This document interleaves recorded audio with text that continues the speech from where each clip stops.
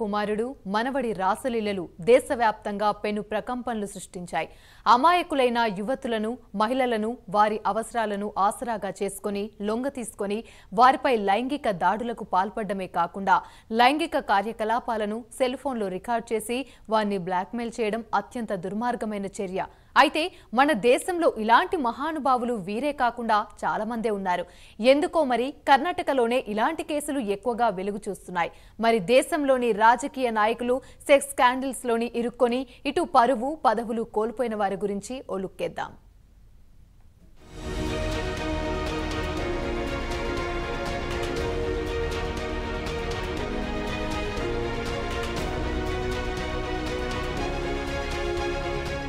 ప్రస్తుతం మన దేశంలో హాట్ టాపిక్ ఏది అంటే అందరూ టక్కున ప్రజ్వల్ రేవన్న సెక్స్ స్కాండల్ గురించి చెప్తారు. ఆయన చేసిన ఘనకార్యం అలాంటిది. కాబట్టి కేవలం కర్ణాటక ప్రజలే కాకుండా ప్రపంచవ్యాప్తంగా ఉన్న ఇండియన్స్ కూడా ప్రజ్వల్ రేవన్న ఘనకార్యం గురించి కథలు కథలుగా చెప్పుకుంటున్నారు.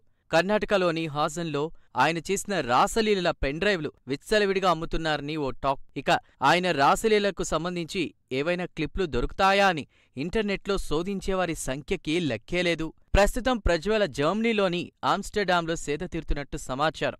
ఆయన తండ్రిని సిట్ పోలీస్ అధికారులు అరెస్ట్ చేశారు. ప్రస్తుతం సిట్ అధికారుల కస్టడీలో ఉన్న హెచ్డి రేవన్న కొడుకును కూడా వెంటనే సిట్ ముందు లొంగిపోవాలని సలహా ఇచ్చినట్లు మీడియాలో కథనాలొస్తున్నాయి కర్ణాటక పోలీసులు ప్రజ్వల్ రేవన్నపై ఈ నెల రెండవ తేదీన రేప్ కేసుతో పాటు పలు సెక్షన్ల కింద కేసులు నమోదు చేశారు. ఇక రేవన్న విషయానికి వస్తే ఆయన పార్లమెంటు సభ్యుడు కాగా ఆయన తండ్రి హెచ్డి రేవన్న మాత్రం ఎమ్మెల్యే. ప్రస్తుతం ఆయన సిట్ అధికారుల కస్టడీలో ఉన్నారు.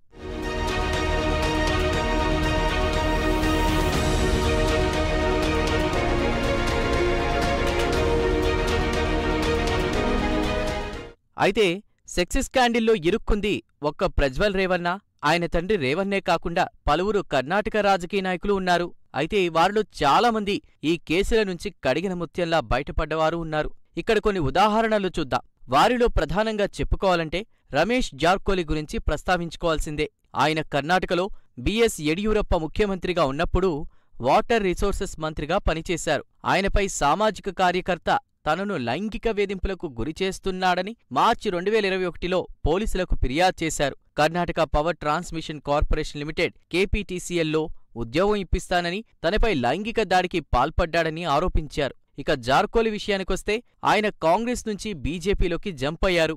రెండు వేల పంతొమ్మిదిలో జేడీఎస్ కాంగ్రెస్ ప్రభుత్వాన్ని కూల్చడంలో ఆయన కీలక పాత్ర పోషించారు.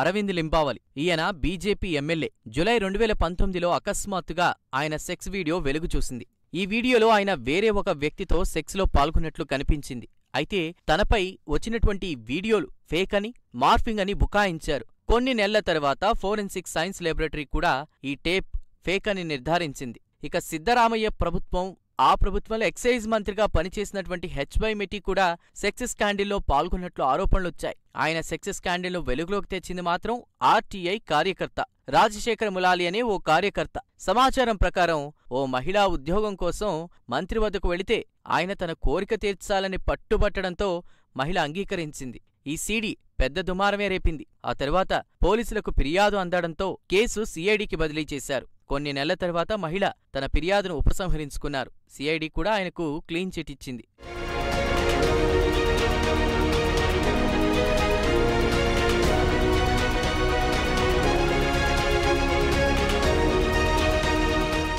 లక్ష్మణ్ సావాడి సీసీ పాటిల్ కృష్ణా పాలేమర్ల విషయానికొస్తే ఈ ముగ్గురు మంత్రులు ఫిబ్రవరి రెండు వేల పన్నెండులో కర్ణాటక అసెంబ్లీలో ప్రత్యక్షంగా తమ ఫోన్లలో పోర్నోగ్రఫీ వీడియోలు చూశారు. అప్పుడు దేశవ్యాప్తంగా పెద్ద దుమారం రేపింది. ఒకవైపు శాసనసభ జరుగుతూ ఉండగా మరోవైపు వీరు పోర్న్ వీడియోలు చూస్తున్నారు. కొన్ని సంవత్సరాల తర్వాత కర్ణాటక అసెంబ్లీ హౌస్ కమిటీ విచారణ జరిపి వీరికి క్లీన్ చిట్ ఇచ్చింది. అటు తర్వాత పాటిల్ సవాడీలకు బిఎస్ యడ్యూరప్ప క్యాబినెట్లో మంత్రి పదవి ఇచ్చారు. రేణుక ఆచార్య విషయానికొస్తే ఆయన Honnali BJP MLA food and civil supply మంత్రి బీజేపీ జేడీఎస్ ప్రభుత్వ అధికారంలో ఉన్నప్పుడు రెండు వేల ఏడులో ఆసుపత్రిలో పనిచేసే నర్సు తనపై లైంగిక దాడికి పాల్పడ్డాడని ఆరోపించారు. అయితే రెండు వేల ఏడులో తగిన సాక్ష్యాలు లేని కారణంగా ఆయన ఈ కేసు నుండి బయటపడ్డారు.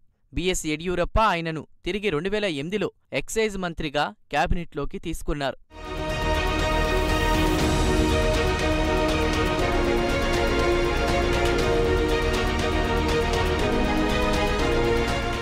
ఇక ఉత్తరాదికి చెందిన రాజకీయ నాయకుల మంత్రుల విషయానికొద్దాం రాజస్థాన్ మంత్రి బాబులాల్ నగర్ అనే మంత్రి ముప్పై ఐదేళ్ళ యువతిని తన ఇంట్లోనే అత్యాచారం చేశాడు. అటు తర్వాత ఆయనపై ఛార్జీలు నిర్ధారణ కావడంతో ఇక ఆయన నైతిక బాధ్యత తీసుకుని మంత్రి పదవికి రాజీనామా చేశారు. కాగా మంత్రి మహిళను బంధించి అత్యాచారం చేయడమే కాకుండా ఆమెను బెదిరించడం దారుణంగా చిత్రహింసలకు గురిచేశాడని ఆయనపై ఆరోపణలు వెల్లువెత్తాయి. ఇక రాజస్థాన్కు చెందిన వైద్య నీటి వనరుల శాఖ మంత్రి మహిపాల్ మడేనా విషయానికొస్తే ఆయన బన్వారీదేవి అనే మహిళను ఎత్తుకెళ్ళి అత్యాచారం చేసి తర్వాత చంపేశాడని ఆరోపణలు వచ్చాయి. దీనిపై సీబీఐ విచారణ జరిపింది. అయితే విచారణలో తేలిందేంటంటే బన్వారీదేవి మంత్రితో పాటు కాంగ్రెస్ ఎమ్మెల్యే మల్కాన్ సింగ్ను బ్లాక్మెయిల్ చేసిందని వీరితో జరిపిన కామక్రీడల సీడీలను బయటపెడతానని బెదిరించారని తెలిసింది.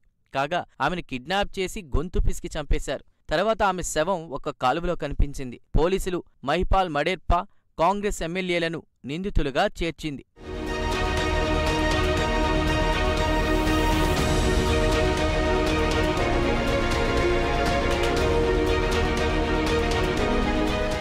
ఇక గోపాల్ కందా విషయానికొస్తే ఆయన హర్యానా మాజీ మంత్రి. ఆయన చేసిన ఘనకార్యం విషయానికొస్తే ఇరవై మూడేళ్ళ మాజీ ఎయిర్ హోస్టెస్ ఆత్మహత్యకు కారణంగా తేలింది. అంతకుముందు ఆమె కందాకు చెందిన ఎంఎల్డీఆర్ ఎయిర్లైన్స్లో పనిచేశారు. అటు తర్వాత ఆమె ఢిల్లీలోని అశోక్ విహార్లో తన ఇంట్లో ఆత్మహత్య చేసుకున్నారు. తన సూసైడ్ నోట్లో కందాతో వేధింపులు భరించలేక ఆత్మహత్య చేసుకున్నట్లు రాశారు. ఆయనపై పలు సెక్షన్ల కింద కేసు నమోదైంది. తరువాత ఆయన బెయిల్పై బయటికి వచ్చారు. ఇక సమాజ్వాదికి చెందిన అమర్మణి త్రిపాఠి విషయానికొస్తే ఇరవై నాలుగేళ్ళ మధుమిత అనే మహిళతో అక్రమ సంబంధం పెట్టుకున్నాడు. ఆమె గర్భవతి అని తెలిసేసరికి ఇద్దరు కిరాయి హంతకులతో మాట్లాడి ఆమెను కాల్చి చంపేయించాడు.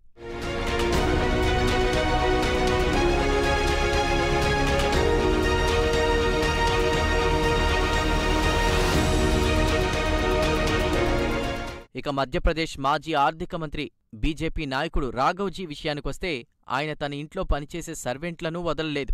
గత మూడున్నర సంవత్సరాల నుంచి తనను రేప్ చేశాడని ఆరోపించాడు. తనకు ప్రభుత్వ ఉద్యోగం ఇప్పిస్తానని చెప్పి తనపై అత్యాచారానికి పాల్పడ్డాడని పోలీసులకు ఫిర్యాదు చేశాడు. దీనికి సాక్ష్యంగా ఆయన సీడీలను బహిరంగపరిచాడు. ఇంట్లోనే కాకుండా రేవాంచల్ ఎక్స్ప్రెస్ రైల్లో కూడా తన పనివాడినీ వదల్లేదు. ఇక ఉత్తరప్రదేశ్కు చెందిన సమాజ్వాదీ ఎమ్మెల్యే మహేంద్ర సింగ్ విషయానికొస్తే ఆయనను గోవా పోలీసులు అరెస్ట్ చేశారు. గోవాలో తన సహచరులతో కలిసి వేశ్యలతో కామకలాపాలు సాగిస్తుండగా పోలీసులు రైడ్ చేసి అరెస్ట్ చేశారు. అటు తర్వాత అఖిలేష్ యాదవ్ ఆయనను పార్టీ నుంచి బహిష్కరించారు.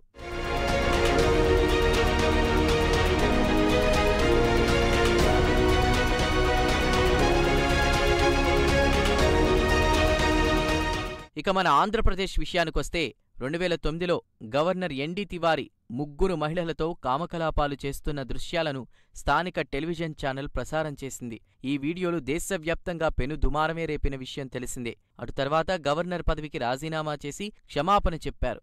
ఇక్కడ ఆశ్చర్యం కలిగించే అంశం ఏంటంటే మహిళలపై అత్యాచారాలకు పాల్పడిన రాజకీయ నాయకులు మహిళల అవసరాలను తమకు అనుకూలంగా మలుచుకుని వారిపై అత్యాచారాలకు పాల్పడుతున్నారు. దీనికి ఫుల్ స్టాప్ పడాలంటే అధికారంలో ఉన్న ప్రభుత్వాలు అత్యంత కఠిన చట్టాలు తీసుకొస్తే తప్ప ఇలాంటివి మనం వింటూనే ఉంటాం చూస్తూనే ఉంటాం.